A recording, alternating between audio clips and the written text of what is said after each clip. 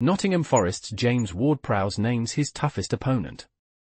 Nottingham Forest midfielder James Ward-Prowse named Manchester United legend Paul Scholes as his toughest opponent, despite facing him for just 30 minutes in a 2012 match while playing for Southampton.